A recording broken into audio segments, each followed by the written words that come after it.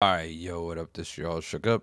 Just uh gonna show how to, you know, do the iCUE software. Obviously, you gotta go to iCUE and download it through um for the app. Sorry about that.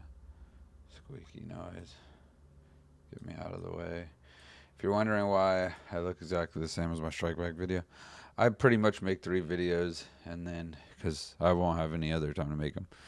So here's the issue with this app. Let's make this bigger.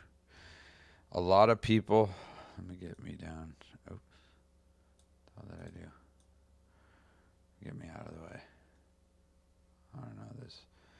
I don't even know where to be on the screen. That's funny. All right.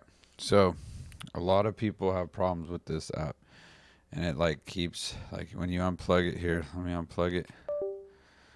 I'm gonna plug it back in.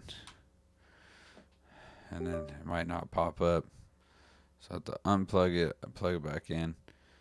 It's kind of stupid. Or in this case it popped up. Now because i didn't reset my computer and i didn't close down the app it doesn't pop up you know save.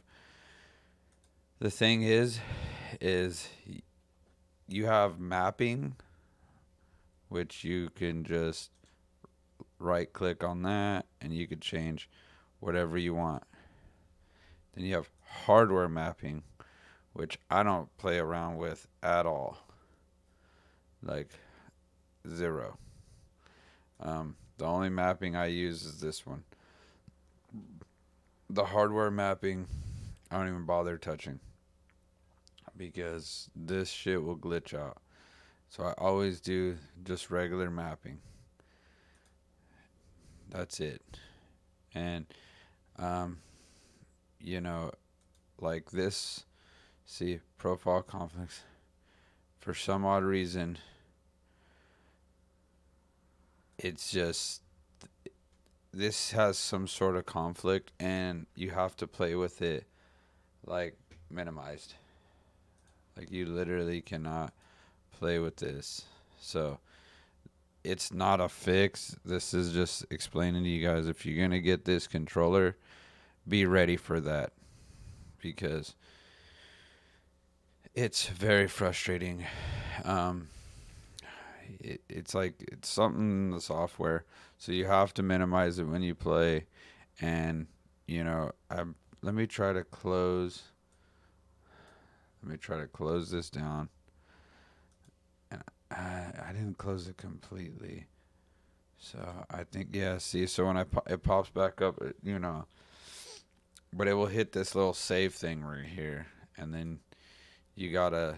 It's gonna say overwrite. You just gotta overwrite, and the profile thing, I just kept it on this one, and I just used the mapping. So anytime it sucks, I want to switch. If I want, if I'm gonna play Fortnite, normally I'll use D-pad where is it?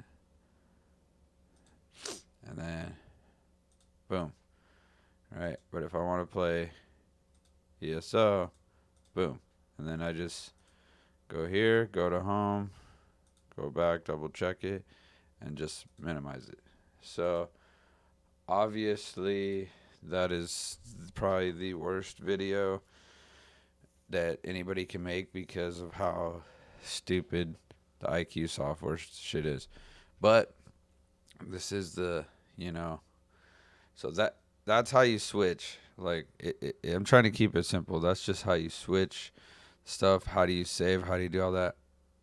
I don't really know because it always glitches it out. I'm still trying to figure that out myself. So, but I'm just letting people know if you buy this controller, that's what you're gonna run into because I didn't even know that I had bought this, sold it because I kept wanting to use my strike pack, but then bought it back because, to be honest, the feeling for this controller is like so precise. So, if you're having troubles with the iCUE software, everybody is. Um, that's how I would switch the buttons. Just click on them, minimize the thing. You know, I know it's kind of sucks for a you know $140 controller, but guess it is what it is. So, all right, guys. We'll definitely appreciate the support, and uh, I'll see you guys next time. Out.